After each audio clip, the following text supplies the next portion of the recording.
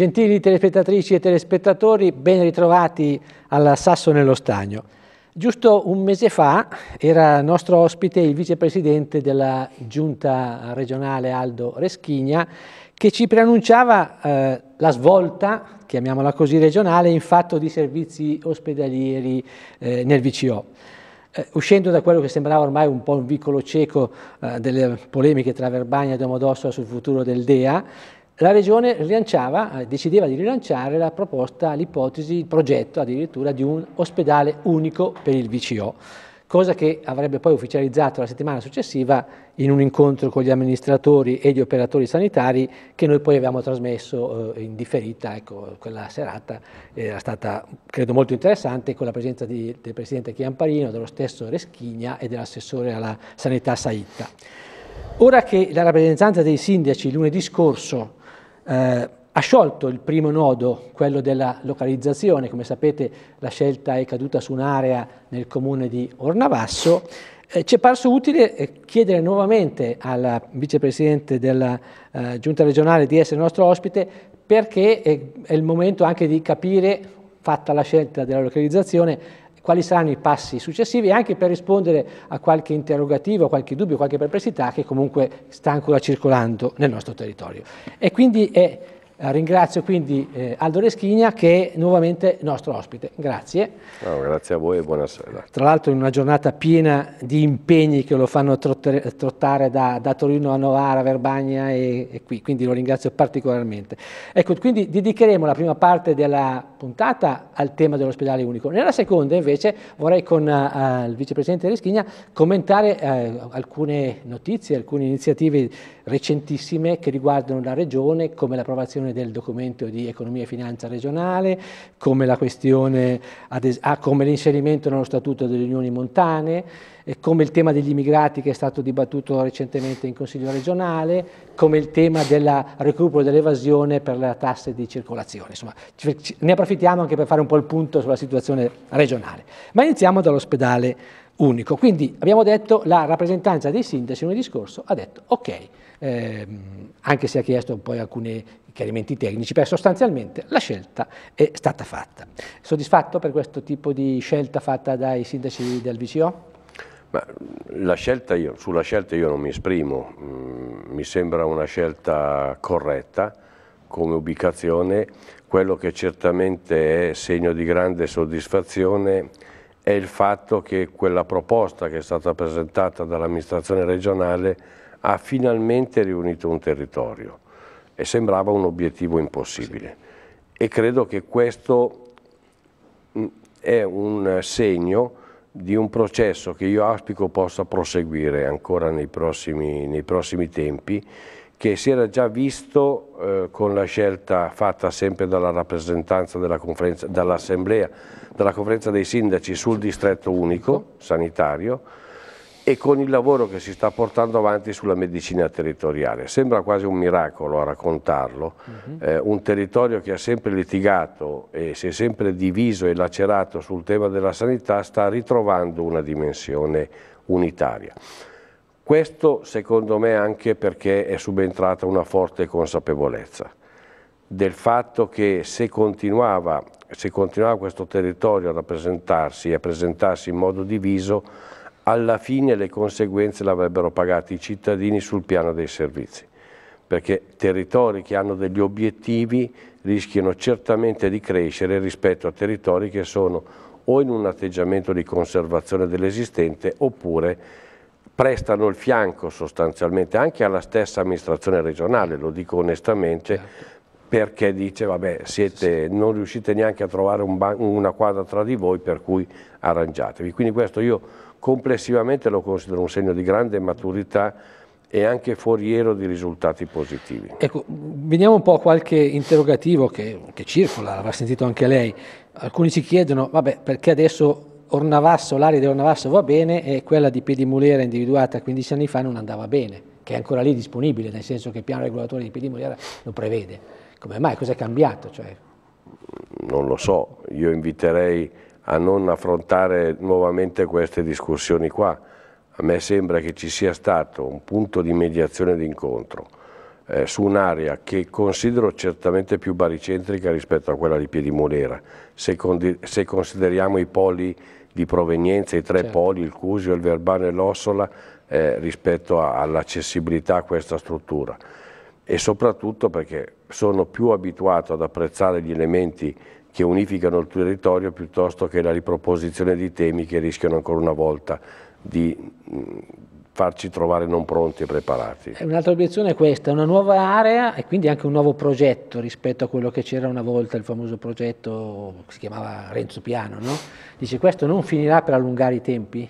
No, perché le modalità che abbiamo individuato e su cui già stiamo lavorando in Regione, c'è stato proprio una settimana fa un incontro tra il Presidente Chiamparino, l'assessore Saita e il sottoscritto, con i due direttori al bilancio e alla sanità e in quell'incontro abbiamo affrontato già i percorsi operativi mhm. non solo per la costruzione di questo ospedale ma anche per la costruzione dell'altro ospedale quello che deve chiudere Chieri, Carmagnola e Moncaglieri pr praticamente certo. sono modalità che eh, escono dal piano delle procedure pubbliche anche perché non abbiamo risorse pubbliche da mettere in campo sono modalità per, senza entrare troppo in tecnicismi, che prevedono che entro febbraio massimo dell'anno prossimo noi si faccia un avviso pubblico per l'individuazione del soggetto promotore mm. dell'operazione, che è un soggetto promotore finanziario. Privato. Privato, sì. perché questo ospedale come quell'altro, come una quota a parte anche della città della salute di Torino, sarà costruito con eh, risorse private, quindi la Regione, l'AS pagherà un canone di, di, utilizzo della struttura per un certo numero di anni, divenendone proprietaria poi alla fine, sì. quindi fase di approvvigionamento finanziario, fase di progettazione, fase di esecuzione dei lavori tutta a carico del privato. Quindi entro febbraio voi individuate però il promotore finanziario, chi ci mette le risorse sostanzialmente. Esatto, il promotore su cui poi verrà fatto, come abbiamo fatto sostanzialmente per la costruzione del Palazzo Unico della Regione Piemonte, verrà fatta una successiva gara tesa sostanzialmente a confrontare la soluzione tecnica e il piano economico finanziario, quindi certo. l'importo dei lavori e il relativo canone concessorio con il mercato. Tutto ciò dovrebbe consentire sostanzialmente che entro il primo semestre o l'inizio del secondo semestre del 2017 eh, possano incominciare i lavori. Questo è il nostro obiettivo sui due ospedali. Quindi eh, il, entro febbraio l'avviso pubblico per l'individuazione del promotore, il tempo per la costruzione del progetto di massima. È chiaro che la Regione e l'ARS definiranno e detteranno quelle che sono... Esatto, cioè che tipo di ospedale lo diranno esatto. il pubblico. Beh certo, che tipo Quanti di ospedale, posti, tanti tipo posti di... letto, certo. eh, che ci debba essere il bunker per la radioterapia, certo che ci debbano essere quei servizi certo. che non sono solamente posti letto, questo verrà definito all'interno da qui a febbraio e diventerà proprio il, il documento su cui... Però poi il progetto lo farà il promotore? Sì. E anche poi l'appalto? L'appalto.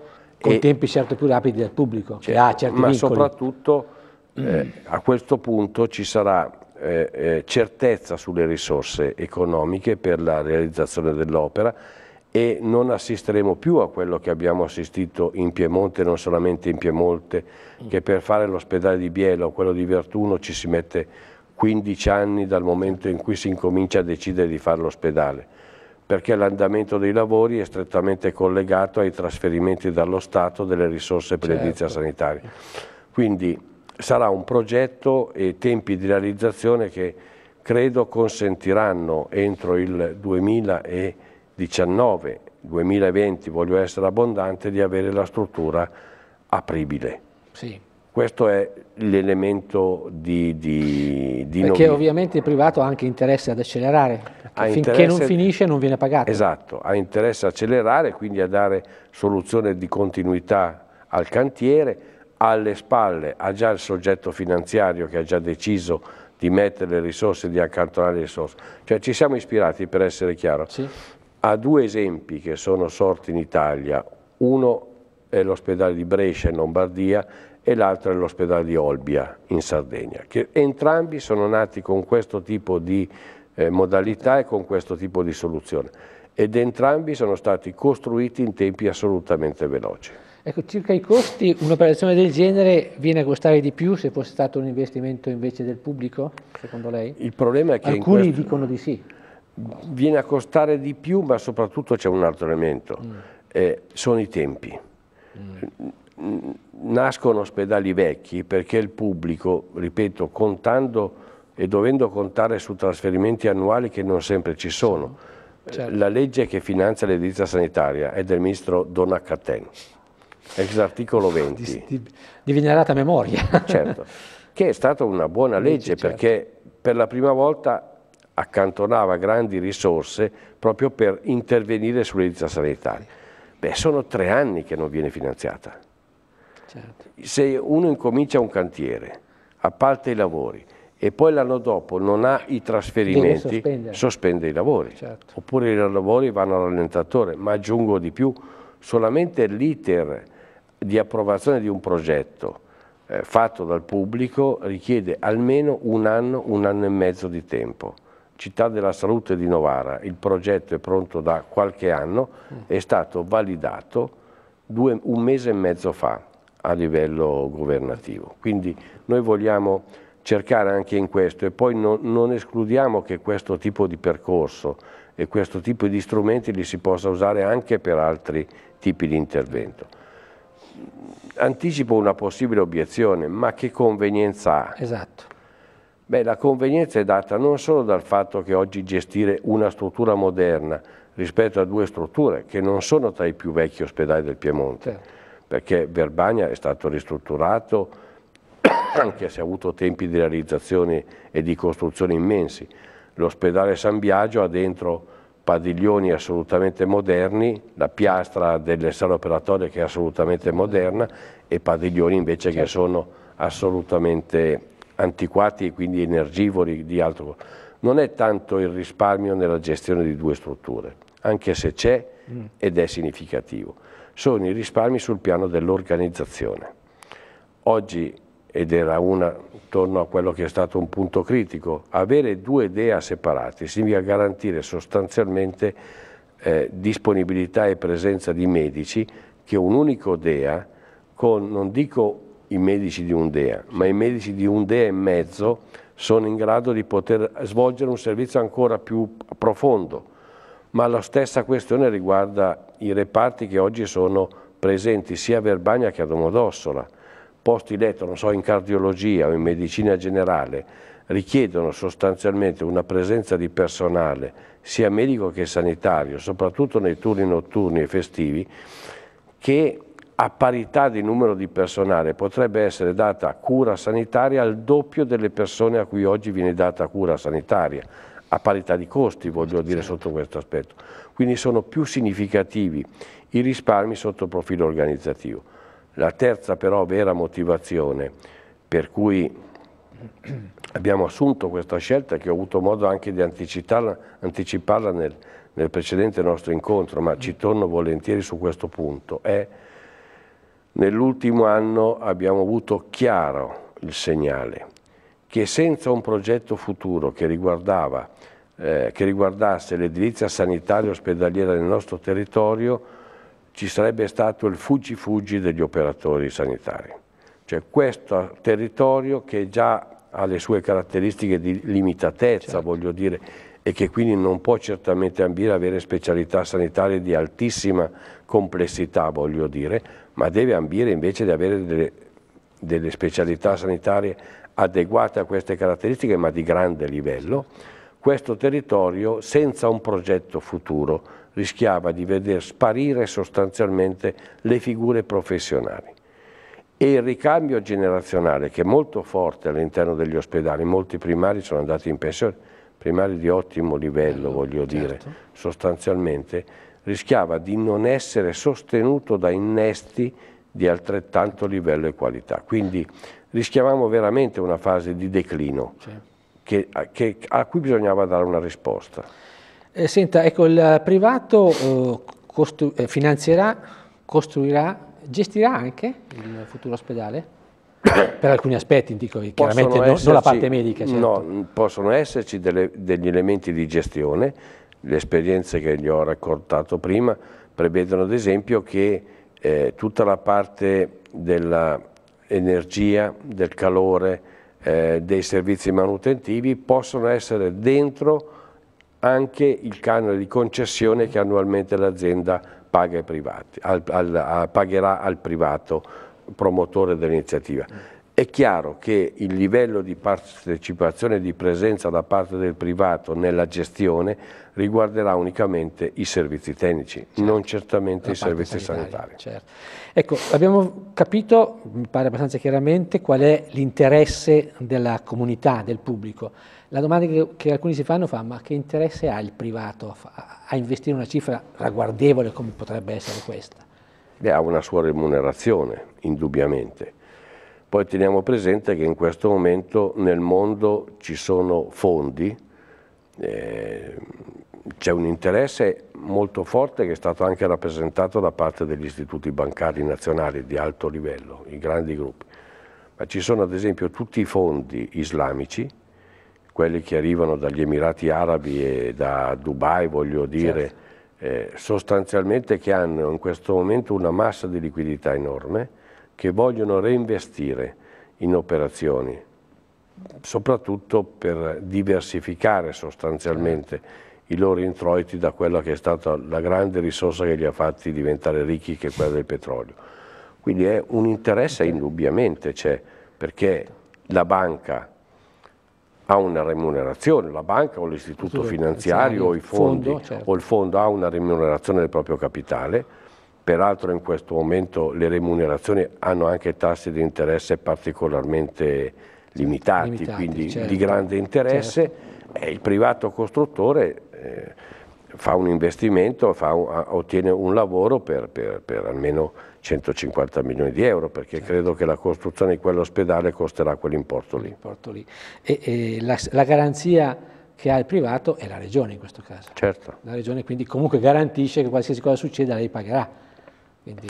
Quello che sta succedendo con molte tribolazioni negli ultimi tempi, ad esempio nell'operazione che è stata fatta di costruzione del nuovo grattacielo dove entreranno gli uffici regionali. Entreranno quando? Anticipiamo. L'anno prossimo. prossimo. Mm, seconda metà dell'anno prossimo. È tutto risolto i problemi che c'erano con l'architetto? Ma sì, quelli sono i minori problemi, adesso i problemi sono altri ed è che la, la, l'ATI capogruppo è stata messa in liquidazione, sì, COP7 voglio dire, sì, quindi sì, i problemi sono altri, però dovremmo riuscire a portare a capo.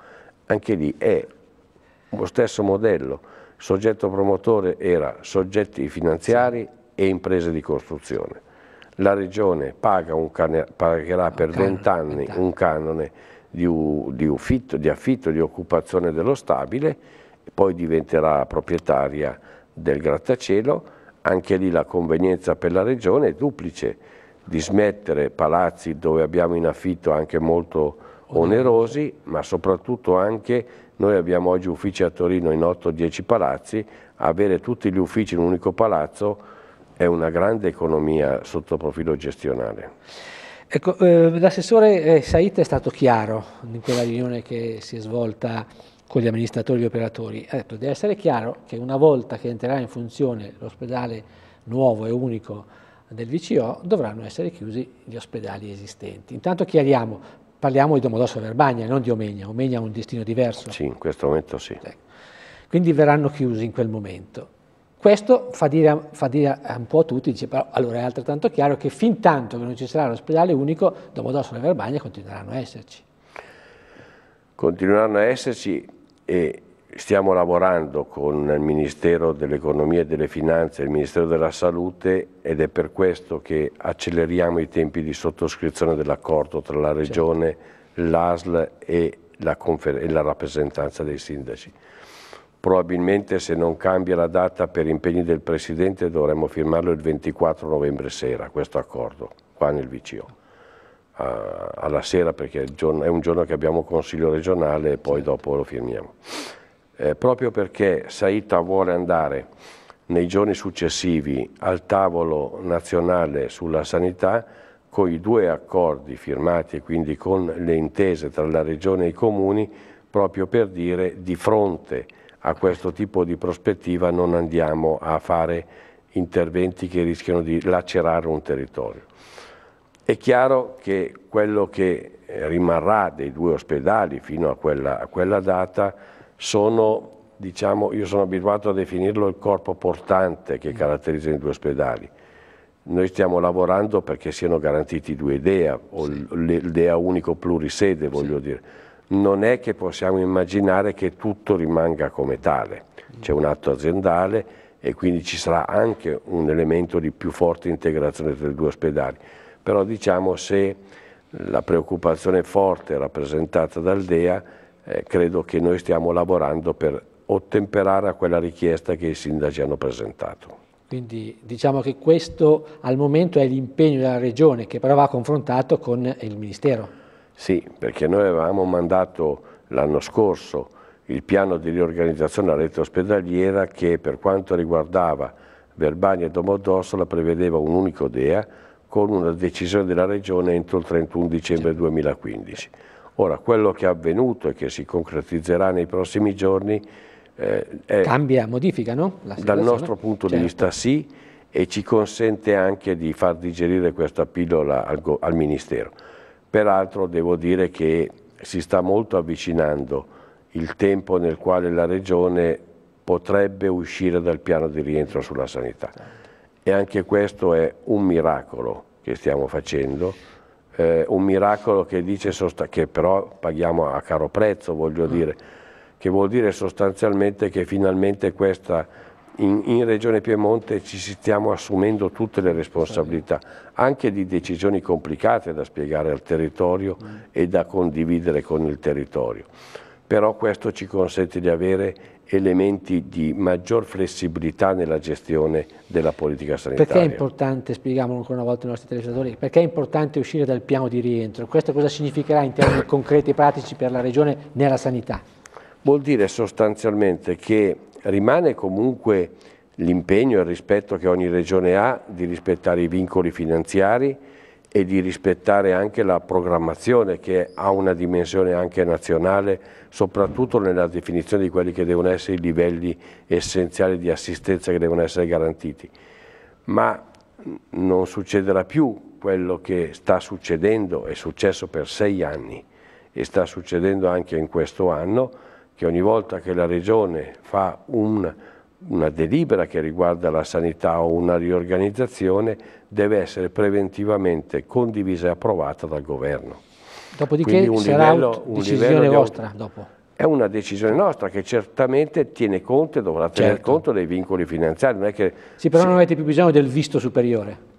Non possiamo, non possiamo immaginare di continuare certo. a di riprendere a spendere alla grande certo. facendo debiti, ma certamente faccio un esempio che è una delle questioni più delicate anche sulla politica di bilancio. Da quando c'è stato il secondo piano di rientro, l'amministrazione regionale precedente ha firmato sostanzialmente in quell'accordo, tra le tante cose, anche il fatto che assistenza domiciliare alla popolazione non autosufficiente, o gruppi di appartamento sulla psichiatria sì. non facevano più parte della spesa sanitaria, ma assistenziale. ma assistenziale. Questo per la Regione Piemonte ha voluto dire 75 milioni di euro che quest'anno ho dovuto recuperare per garantire un livello di intervento da parte della Regione e non una condizione di abbandono. Ma faccio solo degli esempi per dire certo. che cosa vuol dire essere in una condizione di vigilanza. Certo, certo.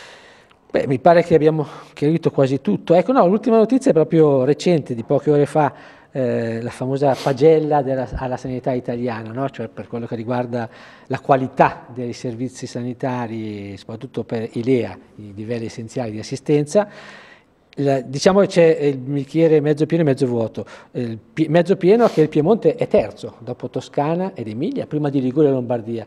Mm, quello mezzo vuoto che però ha perso qualche, pur stando terzo, ha perso qualche punto rispetto all'anno precedente. Beh, questi sono dati che si riferiscono al 2014, 14. che dicono sostanzialmente però una cosa, che il sistema sanitario e l'organizzazione sanitaria piemontese che non è solamente assistenza ospedaliera, certo. ma è integrazione tra servizi territoriali e assistenza ospedaliera ed è integrazione tra prestazioni sociali e prestazioni sanitarie, è un modello che funziona, in difficoltà, in crisi, funziona.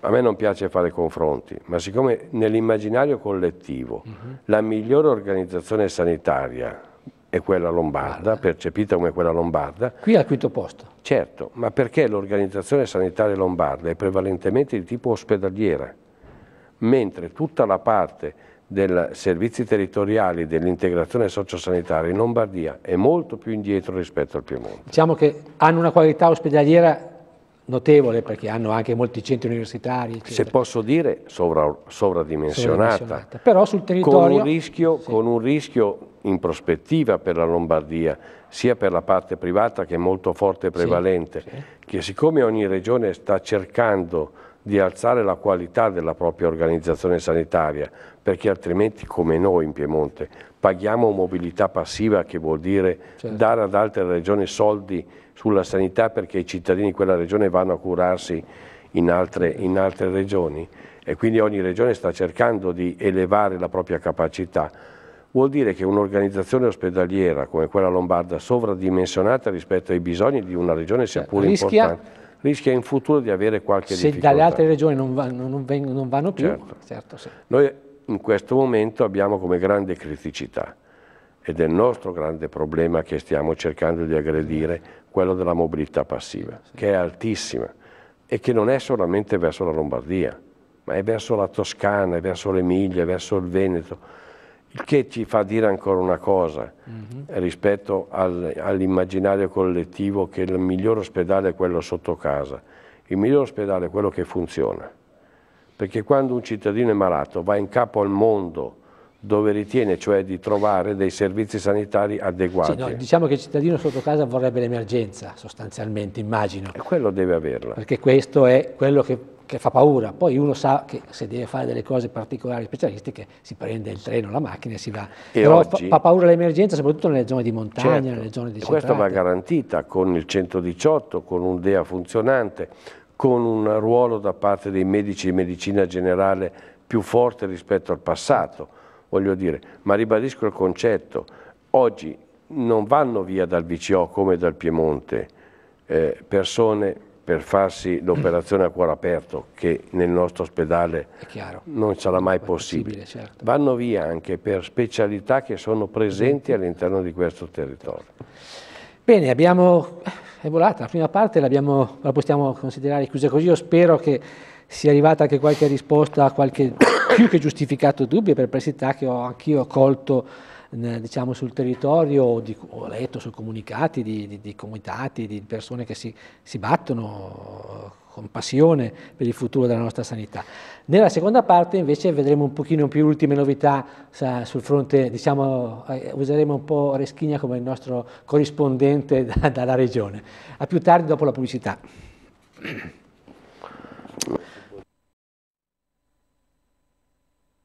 Rieccoci in studio con il vicepresidente della giunta regionale Aldo Reschigna, che vicepresidente e anche assessore al bilancio e proprio nella sua veste di assessore al bilancio è stato protagonista dell'ultima seduta, seduta del Consiglio regionale, quella di martedì scorso, nel corso della quale è stato approvato il documento di economia e finanza regionale, che è l'equivalente regionale del, del famoso no, decreto di economia e finanza eh, diciamo, nazionale. E, tanto cos'è, questa, cos'è, cos'è questo, questo, documento? Cosa prevede? Cosa dice?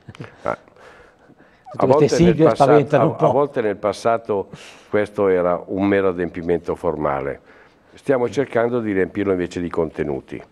Dal mio punto di vista e il documento che è stato approvato dal Consiglio regionale è concepito in questo modo, è il documento che dovrebbe rappresentare gli obiettivi che un'amministrazione si pone nel prossimo anno e che poi devono tradursi nella legge di bilancio nel mettere le risorse. Quindi questi gli obiettivi e poi esatto. i soldi per raggiungere esatto. questi obiettivi. È chiaro che questo documento non può essere un libro dei sogni, certo. deve rappresentare sostanzialmente innanzitutto l'effettiva capacità di spesa della Regione e quindi deve essere anche molto eh, dimensionato su questo piano. È chiaro che è anche un documento che fa il punto di che è di quella che è la situazione economica e sociale della nostra regione. Che rimane difficile sotto il profilo economico-finanziario, leggo dal comunicato. Sì, la situazione economica e sociale, economica e sociale della nostra regione che, che, che, che conferma segnali positivi e negativi. Questa è una regione che innanzitutto sta invecchiando molto, molto di più di altre regioni dell'Italia settentrionale e questo nel, lungo, nel, medio e lungo periodo rischia di essere un problema, sia per la domanda molto forte di servizi certo, sociali certo, e sanitari certo. che determina, sia perché la, la, la, la, fascia demografica attiva sul piano si del riduce. lavoro si riduce fortemente. Certo. Il secondo elemento di riflessione è che il Piemonte sta riprendendo una sua vita economica, sta uscendo anch'esso dalla crisi, uh mhm. -huh. noi prevediamo nel 2016 un incremento del PIL regionale dell'1,5%, ma sta un po' arretrando rispetto alle regioni dell'Italia settentrionale. Quindi Lombardia, Veneto, Emilia Romagna hanno livelli sia sul piano dei tassi mm -hmm. di disoccupazione sia sul piano della migliori crescita dei migliori dei nostri. Ecco, in questo ci sta l'intervento della Regione e in questo documento abbiamo cercato sostanzialmente di individuare quelli che sono gli obiettivi che tengono in piedi il bilancio. Quindi noi nel 2016 venderemo patrimonio immobiliare. Ecco, infatti, nel 2016 consistente di dismissione di patrimonio urbanistico c'era scritto, sì, immobiliare. immobiliare. Perché andando nella nuova sede riuscirete a dismettere? Vendiamo Piazza Castello, vendiamo tutta una serie di palazzi perché quelli che sono di nostra proprietà è un sacrificio che facciamo, però la condizione del bilancio della Regione lo impone. Nello stesso momento nel 2016 stiamo proseguendo eh, l'operazione di riduzione del costo del personale all'interno della Regione. Eh, però qui faccio una domanda, però avete però la grana del personale delle province? Eh sì, questo diventa un'altra voce di costo. Cioè, da un lato voi state riducendo, però vi trovate poi il personale delle ex sì, province. Anche se devo dire che il lavoro che abbiamo fatto con le province piemontesi eh, è un lavoro che con tutte le fatiche e le incertezze che ha rappresentato, nel tempo potrà essere rappresentato come una straordinaria occasione di redistribuzione del lavoro pubblico all'interno del complesso delle amministrazioni pubbliche. Do solo un dato, quando è stata approvata la legge del Rio nel 2014, voglio dire, l'8 aprile 2014, in Piemonte c'erano 4.200 eh, dipendenti nelle province. Le nostre previsioni condivise con le province ci dicevano che alla fine del 2015, quindi fra poche settimane, sì calavamo a 3.900 dipendenti, per effetto soprattutto delle quiescenze, della messa in pensione e delle dichiarazioni di eccedenza da parte delle province del personale eh, con la collocazione in, in, quiescenza, quindi in pensionamento, con i requisiti pre-Fornero. Quindi calavamo di un certo numero di unità. Il dato reale che emergerà alla fine del 2015 dice invece che noi abbiamo in Piemonte nelle province 3.596 persone. Mm. Dove sono finite queste? Nei comuni. Ah, C'è stato mobilità... un processo di mobilità sui comuni, il che da un lato è un elemento che io considero positivo perché è la prima volta nel nostro paese che avviene un'operazione di redistribuzione. Mm-hmm. Normalmente i comuni assumevano certo. il proprio personale e lo scenario è che ci troviamo dei dipendenti delle province in esubero rispetto alle effettive necessità sta, e capacità. Certo. Quindi è chiaro che abbiamo questo badò, certo. però siccome mi ero posto all'inizio un anno fa l'obiettivo di calare la spesa del personale in regione perché era molto più alta rispetto a Lombardia, Veneto, Emilia Romagna e Toscana, che sono le regioni con cui mi confronto, questo è un obiettivo che ci dice che alla fine del 2016 noi caliamo del 12,5% il costo del personale. Il terzo obiettivo è che noi stiamo procedendo a un'operazione che è avviata nel 2015 e proseguirà nel 2016 di forte razionalizzazione di tutto ciò che è esterno alla Regione ma dipende dai bilanci della Regione. Noi abbiamo enti strumentali, abbiamo società partecipate, abbiamo due finanziarie regionali, abbiamo consorzi, cioè complessivamente noi abbiamo 2200 dipendenti circa mm. in questo momento in Regione Piemonte, ma tutto ciò che è dentro questo grande serbatoio vale circa 1600 dipendenti. Bel peso anche questo, un bel carico, un bell'onere. Un bell'onere, un bel carico. Ecco, volevo dire, ho letto sempre in questo comunicato eh, relativo a questa approvazione di questo documento che puntate all'attuazione della legge del Rio eh, promuovendo e incentivando la gestione associata dei piccoli comuni. Sì. È un tema importante è anche questo, come i piccoli comuni rispondono a questo invito? Eh, qui siamo mm, luce e ombre, se mm. posso definirlo in questo modo, nel senso che nell'ultimo anno, ma abbiamo anche segnali di operazioni in atto, ci sono comuni che si stanno fondendo tra di loro. Qui certo. è avvenuto tra Viganella certo. e Seppiana, c'è qualche segnale di attenzione o di avvio di questa riflessione in Valcanobina, ad esempio. Certo. Nel Biellese ci sono stati una serie di comuni che si sono fusi e abbiamo aperto delle pratiche che riguardano anche altri comuni in giro per il Piemonte.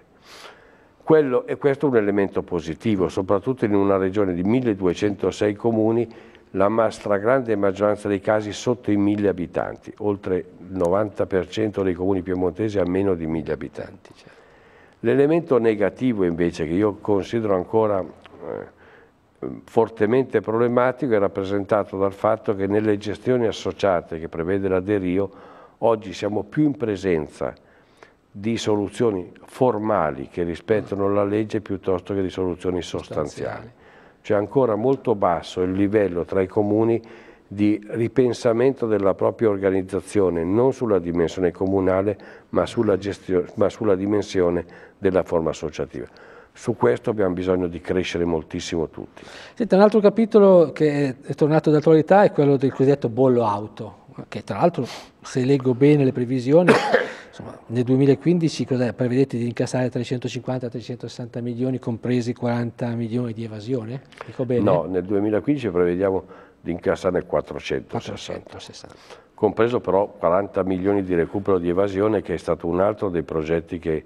Perché lei si è trovato uh, un'evasione degli ultimi 4-5 anni abbastanza significativa. Alta.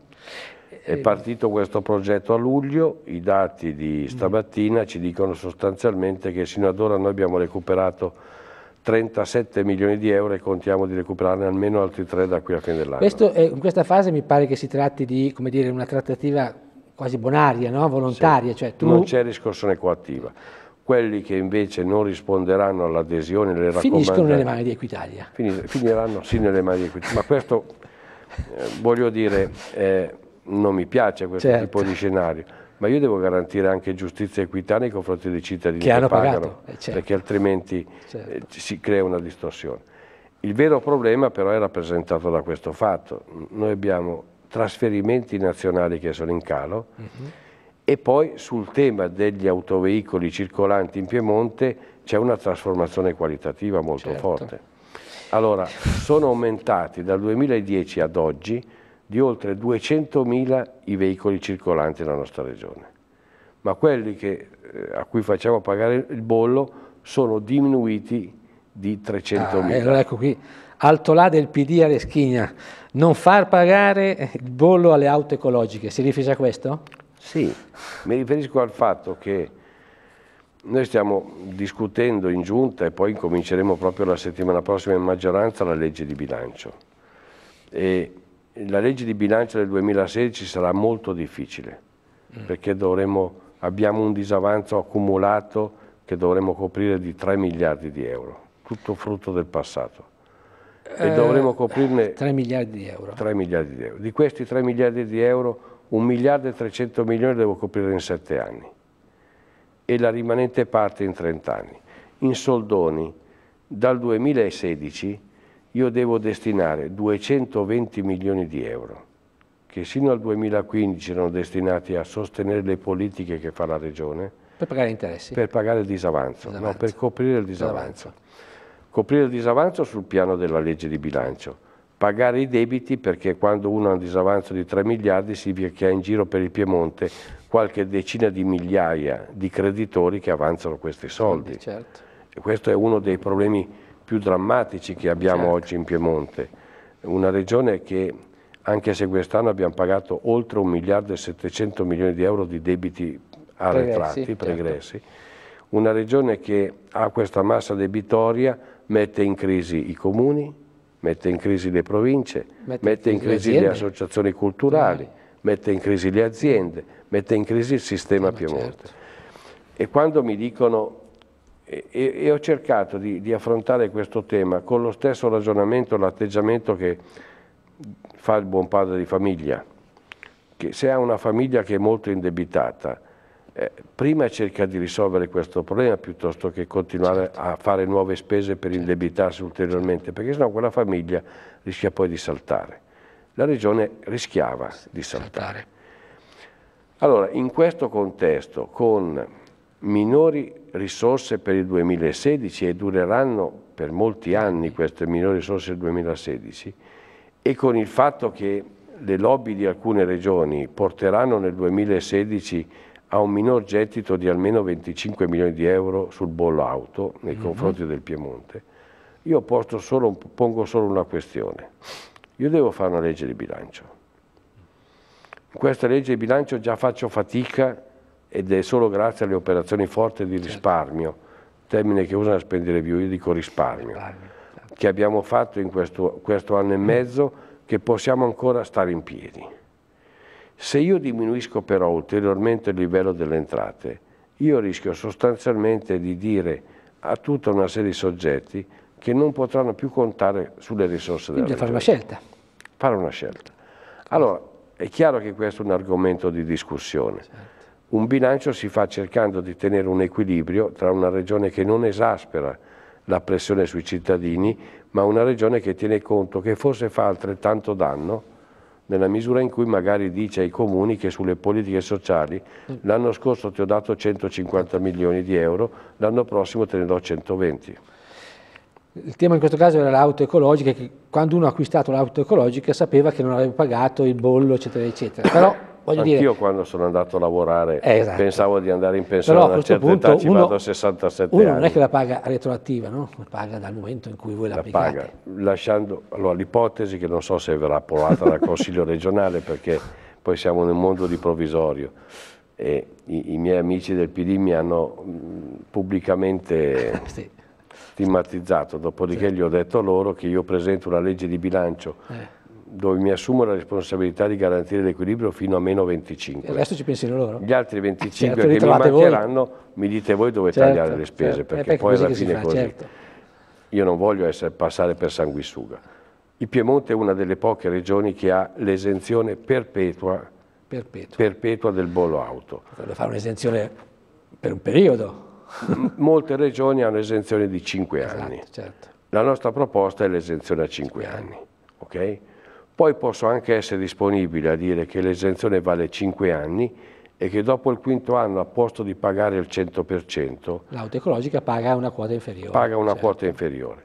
Nello stesso momento voglio ricordare che quando è stata introdotta quella norma, noi avevamo anche un mercato in cui il costo di acquisto di un'auto ecologica era, era notevolmente certo, superiore certo, a quella delle autoalimentazioni. Certo, certo. E che oggi certo. comunque il grande risparmio non solo è un grande beneficio per l'ambiente, ma il grande risparmio è anche rappresentato dal fatto che 0,62 non valgono 1,4 o 1,5. Cioè, benzina, certo.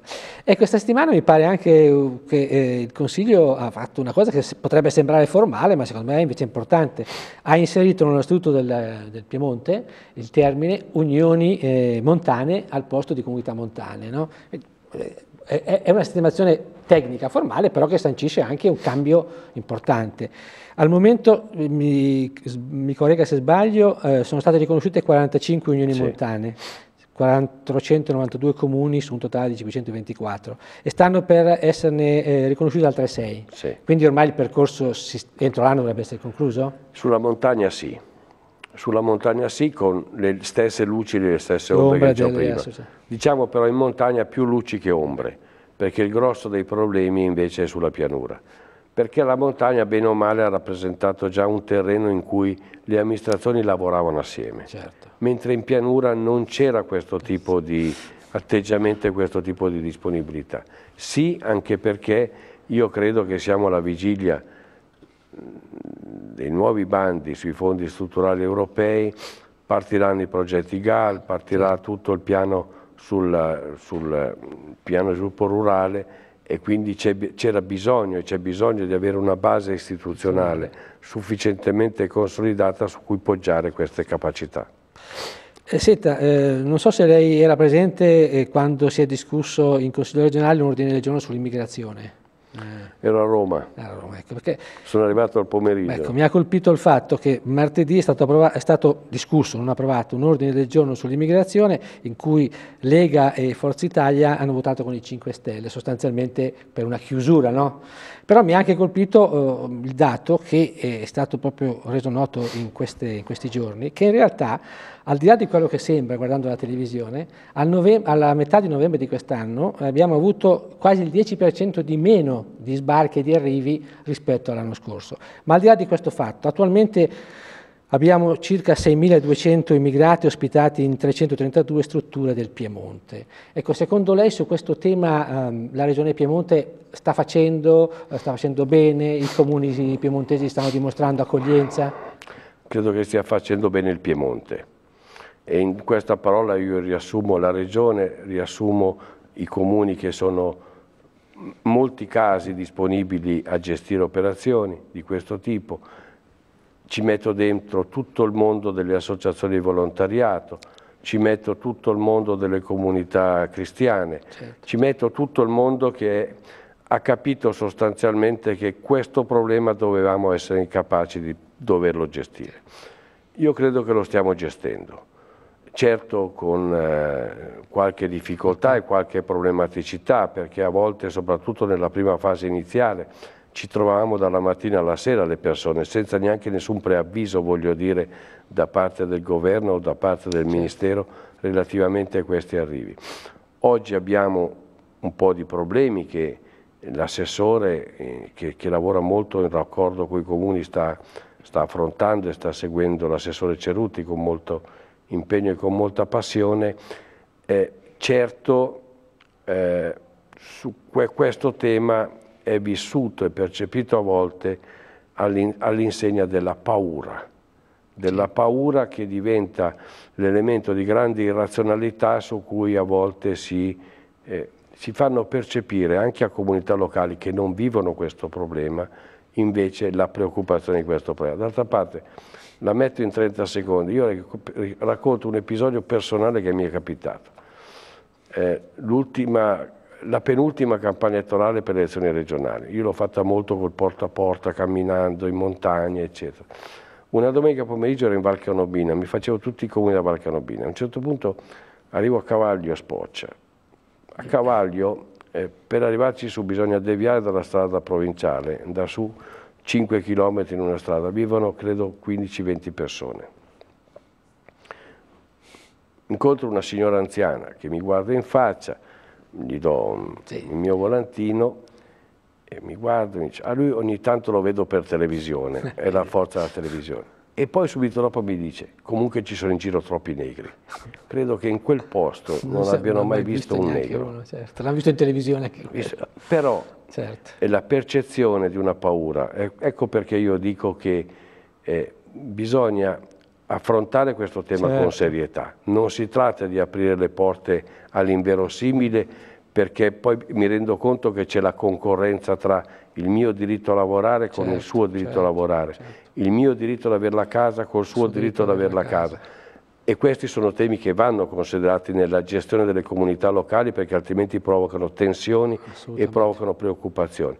Però a volte noi lo enfatizziamo così come anche quando a volte rappresentiamo alcuni paesi europei come i paesi più incivili rispetto mm -hmm. a noi. Mm -hmm. Voglio ricordare che l'Italia, tutto sommato, è e ha rappresentato una, un, una nazione di transito, perché la maggior parte delle persone che sono sbarcate poi vanno verso il nord vanno verso il nord, certo. sono andate in Germania, sono andate in Svezia, sono andate negli altri paesi voglio dire sono, è un numero molto limitato quello. Certo, quello che è molto problematico in Italia è la fase emergenziale esatto, dell'accoglienza, perché, e lo vediamo tutte le volte, anche se adesso sono dati molto più rallentati, a volte arrivano migliaia certo. di persone in una giornata.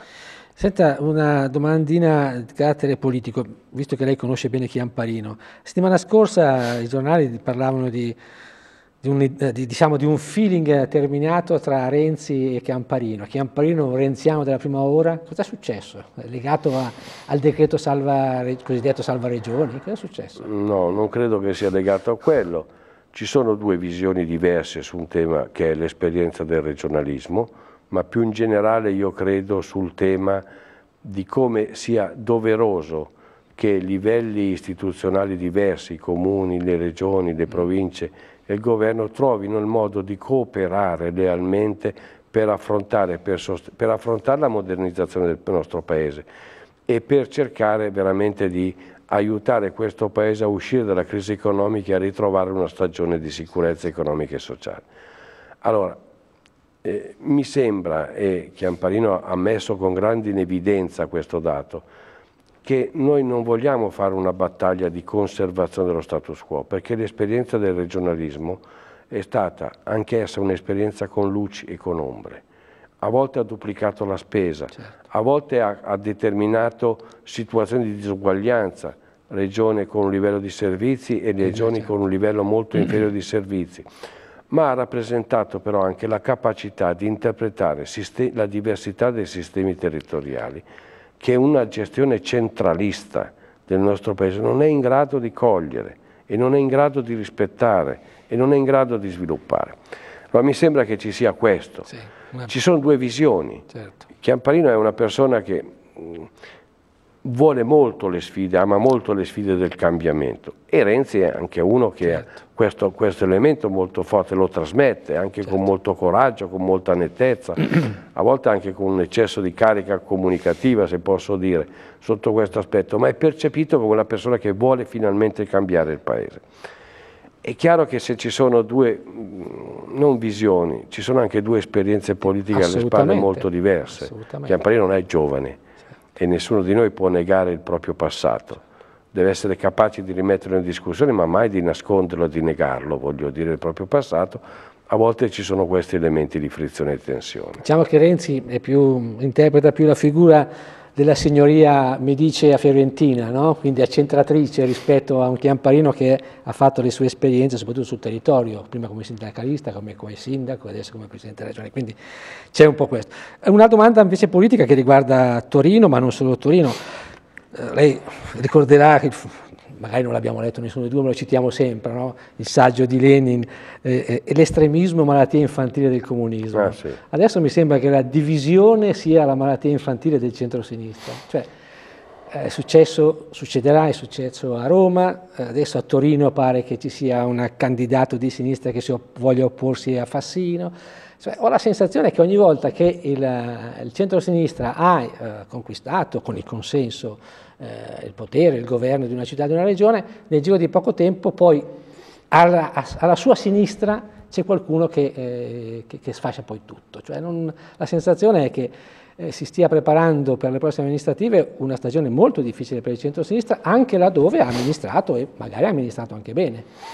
Cosa Beh, succede in questo centro-sinistra così strano, così litigioso? Beh, è evidente che eh, una politica che si rimette in moto. Vorrei ricordare che questo Paese ha rappresentato per molti anni nessun livello di cambiamento molto spinto e comunque il PD, il Partito Democratico, il Presidente Renzi, ripeto, poi possiamo, io posso anche manifestare elementi di criticità rispetto ad alcuni atteggiamenti e ad alcune uscite, ma di fatto rappresenta finalmente quello che tanti anni mancava in questo Paese, la rimessa in discussione di molti tabù certo. e la voglia veramente di restituire anche un senso di futuro e di fiducia al nostro Paese. Quindi il complesso delle riforme che si sta portando avanti è evidente che hanno poco a che fare con una logica di conservazione dello status quo e dell'esistente. All'interno del panorama del centro-sinistra c'è chi, chi, secondo me queste, eh, questa dimensione non la possiede. Poi ci aggiungo un altro elemento, Certamente oggi la politica e il Partito Democratico, il centro-sinistra non è immune da questo elemento. Oggi la politica è molto basata su dimensioni eccessivamente personalistiche certo. e non ha dimensione di comunità. E allora eh, certo. si bada più a queste dimensioni che ad altre. Certo, il prossimo turno amministrativo dell'anno prossimo è un turno molto impegnativo, sia perché il centro-sinistra esperienza di Roma esce molto eh, certo. malconcio, malconcio chiamiamola certo. così, ma soprattutto eh, esce malconcio il rapporto tra l'istituzione e la comunità, la comunità certo. e la comunità civile di Roma, certo. voglio dire. L'esperienza di Milano è più problematica perché comunque io credo che Pisapia abbia svolto e infatti, in modo molto personale era, era, molto importante. Molto importante ma in senso positivo, positivo voglio positivo. dire, senza prevaricazioni, voglio dire. Infatti mi sa che quella rivoluzione arancione senza Pisapia sarà difficile replicarla, però. Torino ha elementi di problematicità sotto questo aspetto perché eh, Torino per tutta una serie di elementi ha questa forte presenza del Movimento 5 Stelle, mentre credo che nonostante tutte le difficoltà, tutti i tentativi a volte di ritornare con i linguaggi del passato per recuperare una sorta di credibilità, io credo che in questo momento il centrodestra non sia della partita. Quindi la sfida potrebbe essere tra il centro-sinistra e i 5 Stelle?